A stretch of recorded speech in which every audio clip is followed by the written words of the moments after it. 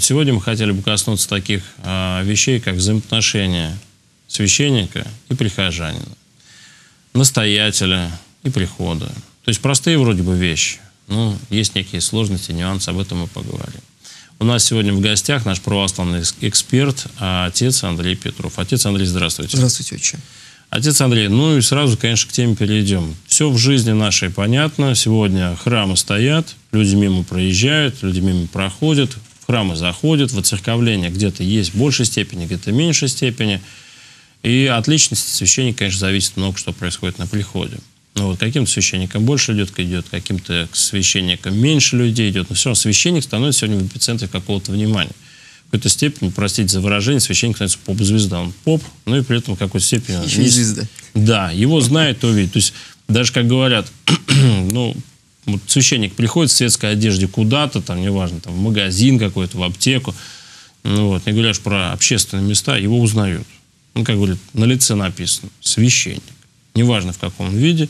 И, конечно, повышенной какой-то степени внимания. И вот э, вообще, насколько, скажем, священнику от этого хорошо или плохо, что вот его там знают, узнают. Вот на ваш взгляд, вот известность, а, скажем, священника или, скажем, ну, может быть, грубое слово, такая популярность, она мешает, не мешает в жизни? Может, это здорово, наоборот? Ну, на самом деле, это преувеличена популярность, знают, узнают. Все-таки в своем большинстве прихожане, они привыкли видеть священнослужителя в рясе, в подряснике – а в силу определенных э, наших погодных явлений священнослужитель не всегда имеет возможность в повседневной своей жизни находиться в городе вот в том облачении, в котором он э, служит. Отец Андрей, тогда вот вопрос, вот на ваш взгляд, просто порассуждаем. А вообще необходимость есть священнику, скажем, не в священнических, конечно, облачениях, да, а да. вот просто в, в лясе, подляснике находиться постоянно в повседневной жизни, везде и всюду? Насколько вот это вот действительно сегодня необходимо? В Европе у них же вот священнослужитель имеет рубашку, брюки, обозначение. Ну, у них есть только обозначение в рубашке, да. Да, да, да. У нас э, подобная, так скажем, форма э, одежды, она отсутствует. Есть ли в этом необходимость? Сложный вопрос. Э, с одной стороны, внешний вид э, священнослужителя он подчеркивает само присутствие его в жизни э, общества. И э, люди, они, в общем-то, видят, да, священнослужитель. Можно подойти, поинтересоваться, может быть, спросить, задать вопрос какой-то на улице. С другой стороны, э, это может вызвать э, определенные какие-то негативные э, негативное отношение со стороны общества. Потому что ведь зря так, вот, о чем сейчас сказали, популярность, популярность она бывает разная.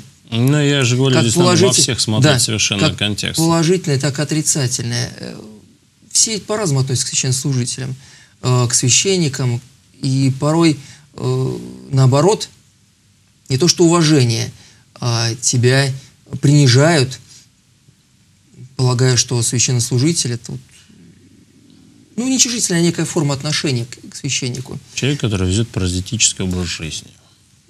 Счет да, других, якобы. Да, да, кому живется весело, вольготно на Руси. Да, вспомним Некрасова. Да.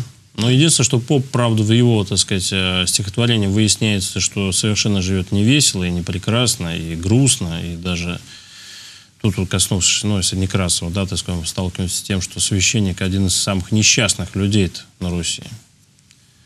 Вот. А сегодня поменялась ли ситуация тогда?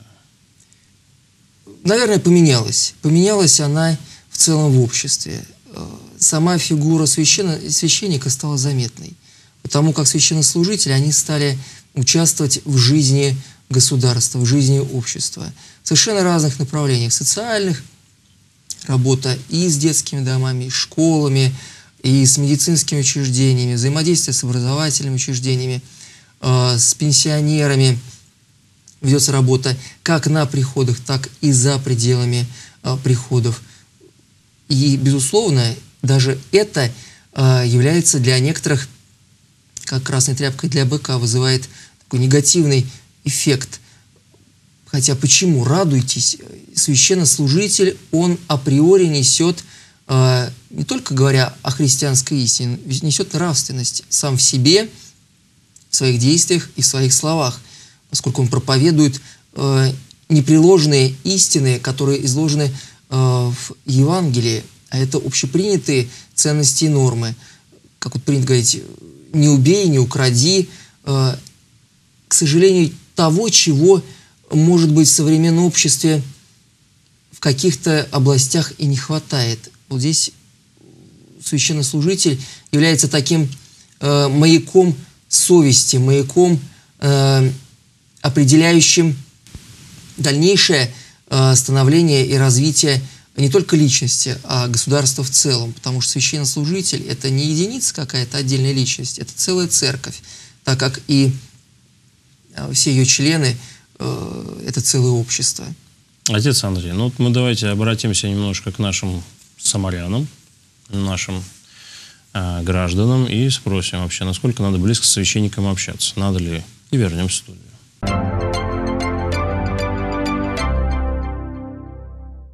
Не могу ответить, потому что я не общаюсь. Не считаю это нужным, потому что, по идее, Бог в душе, в голове, в сердце, но никак это не священник, это разные вещи. Я считаю, что тем, чем больше со священником общаются люди, тем как бы э, им лучше. То есть, во-первых, просто общение, а во-вторых, душу раскрыть, это э, очень хорошо, как стресс снять. Ну, это смотря с какой целью. А, Я считаю то, что очень интересно пообщаться с духовным человеком, который отдает себя полностью религии. Это полезно для опыта и просто вот э, интересно узнать такую личность. Я думаю, что это не очень важно. Э, В общем-то, если человек верующий, он, э, если он верит, он сам общается и с Богом, все это держит в душе. И, ну, если есть желание, пожалуйста, можете с священником общаться. Ну, нужно излить душу, я считаю. Почаще ходить священнику, потому что это все-таки наша вера. Мы живем сейчас в таком мире сложном, мне кажется, если а, отойти совсем еще от веры, то вообще мало что останется. Я считаю, что священник это нужная нам а, возможность как-то себя за что-то там простить очередной раз. Вот. Я считаю, что церкви и общение с священником это нужная вещь.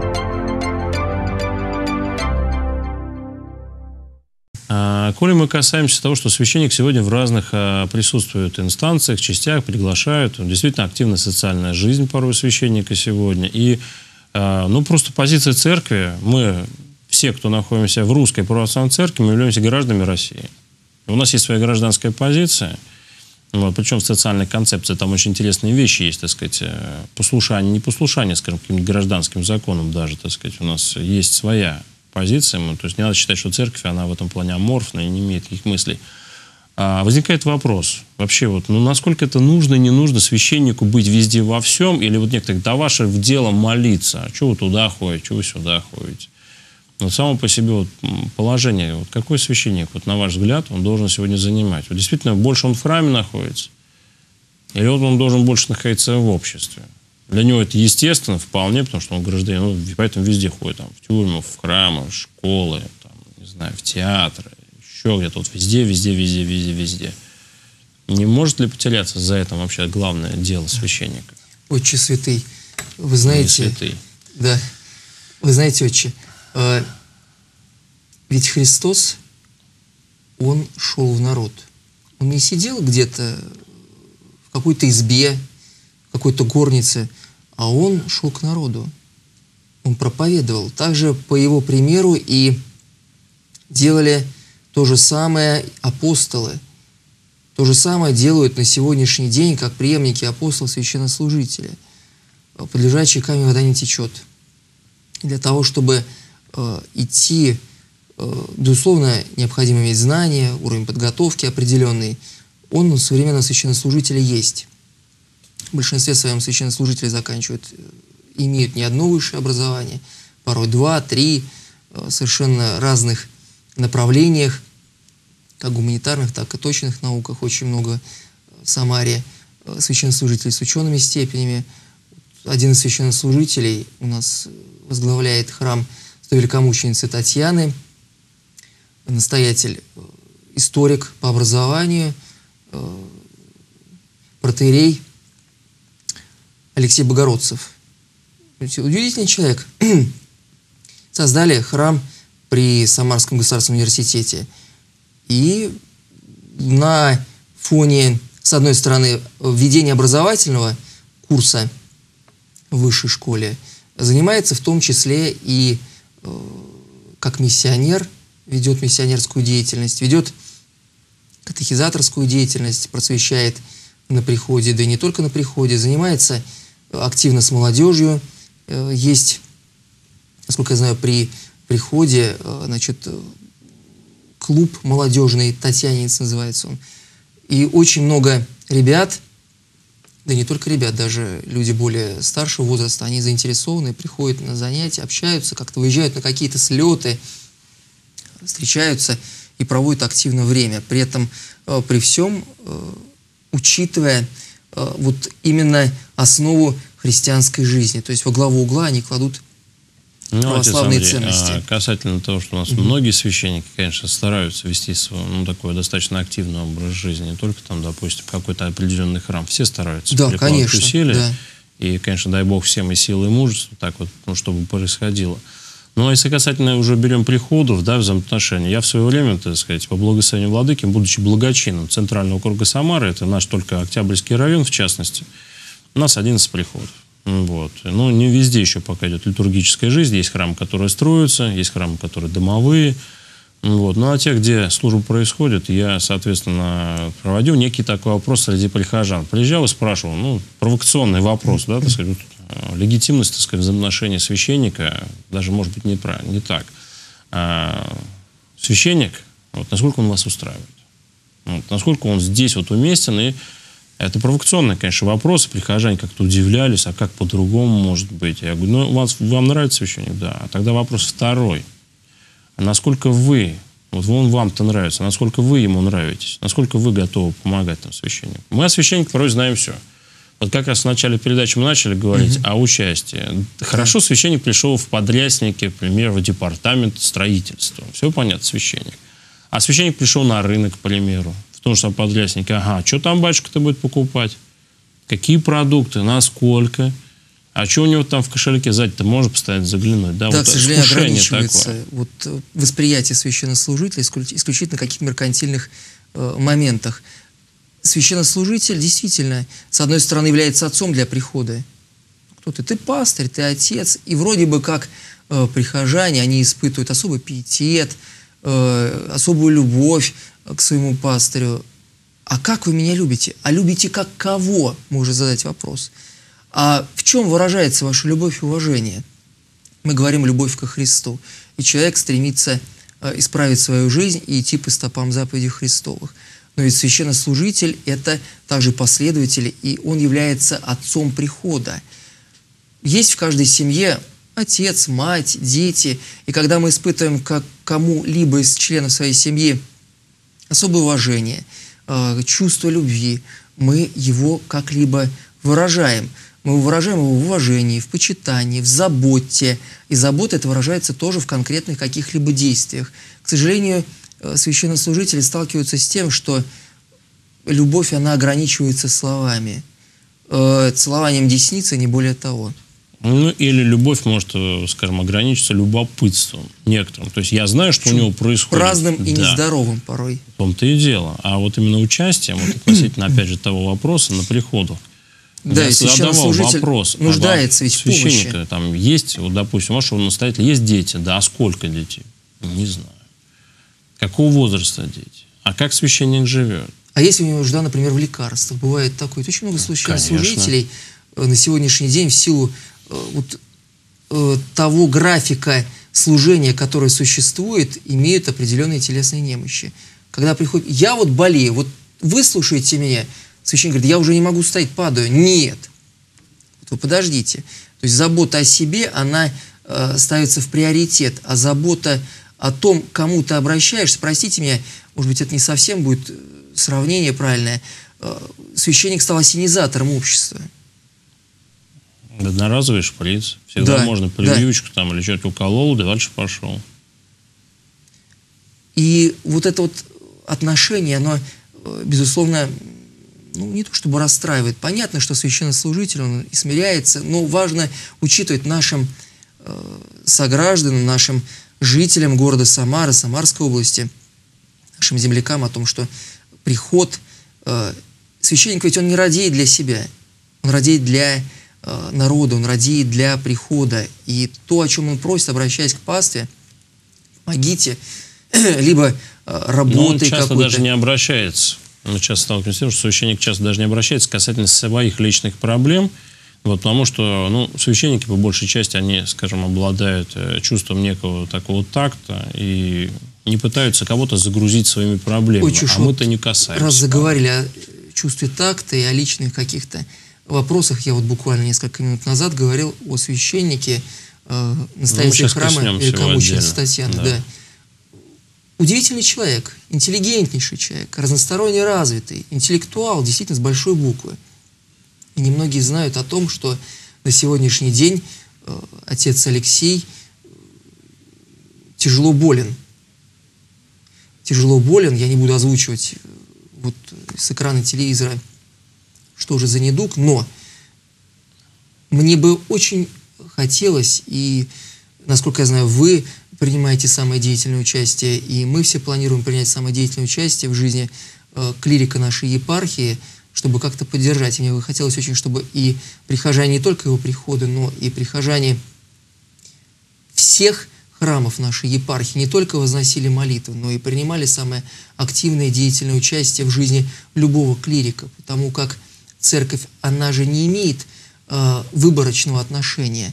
Мы все едины, и едины мы во Христе, а значит, мы единое тело. Так как вот у руки пять пальцев, и если заболит один из членов нашего тела, значит, будет болеть весь организм. Так в данном случае заболел наш э, священнослужитель, э, наш настоятель, наш отец. Э, для многих это духовник. И очень важно понимать, что э, его жизнь, а это жизнь еще и его семьи, насколько я знаю, у него четверо детей, э, супруга, и также нуждаются в поддержке и помощи, не просто в поддержке моральной, соболезнований каких, да, что вы заболели, батюшка, там так жаль вас, а это действительно какое-то личное участие. Подойти и спросить, батюшка, вам чем-то помочь, чем конкретно? Э, Время нашей передачи, оно подходит к концу. Коли мы коснулись э, личности отца Алексея, э, вот, нашего замечательного собрата во Христе, клирика, настоятеля храма Святой Мученицы Татьяны, то, конечно же, кто-то вот нас смотрит в разных концах города и в других даже городах. Вот, конечно, хотелось бы, отец Андрей, чтобы дали какие-то общие советы, чем мы могли бы еще помочь отцу Алексею в сегодняшней ситуации. Ну, Если кратко. Безусловно, э, то, что требуется от православного человека, в первую очередь, это молитва, сугубая молитва. Тем более сейчас период поста. С Пятидесятницы можно делать земные поклоны. Дома сделать, да не по одному земному поклону, за здравие э, нашего собрата, протерея Алексея, но также и личное участие. В чем оно может выражаться? Я не знаю, насколько он сейчас э, участлив на приходе, э, присутствует ли он на богослужениях в силу своего нездоровья. Но обязательно постараться выйти, найти контакты, может быть, поскольку для всех известно, что несмотря на то, что медицина у нас э, в соответствии с законодательством является бесплатной, увы и ах, лекарства имеют свою цену, они порой дорогостоящие, а в зависимости от того, чем болен человек, они имеют, э, увы, э, очень серьезные какие-то расценки. Поэтому, безусловно, тут требуется помощь, в том числе и финансовая. Поэтому я обращаюсь к нашим землякам, хотел бы попросить поучаствовать в жизни э, нашего собрата и стараться помочь, в том числе и финансово, обратиться на приход, либо обратиться на, э, к благочинному, э, к протерею Иоанну в храм святителя Спиридона и оказать посильную помощь для поддержания состояния здоровья, дабы укрепить нашего собрата и как-то помочь. Отец Андрей, спасибо за участие в нашей сегодняшней передаче. А, Дорогие самарцы, я также хотел бы обратиться к вам с этим же э, обращением, что отец Андрей озвучил. В своих молитвах поминайте болящего протеерея Алексея. Священник порой забывает себя, часто не говорит о своих каких-то человеческих обстоятельствах, немощах. Он является таким же человеком, как мы с вами, две руки, две ноги, одна голова. Мы порой действительно к священнику относимся так, как нам нужно. Он у нас от дворника до какого-то супергероя все может сделать, но при этом мы забываем то, что он человек. Поэтому отца Алексея вот поразила болезнь, внезапно, для нас всех неожиданно, и мы просим вашей помощи. Потому что большинство из вас, вы его знаете, православные.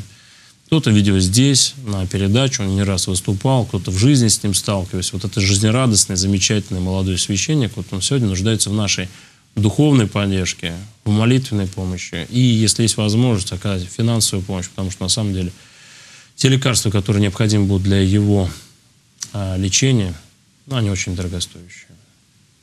Дай Бог, чтобы нас обходили стороной болезни.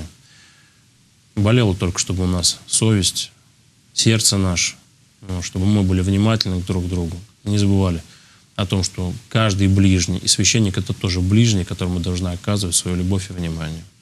Всех вас храни Господь и до встречи. Всего доброго.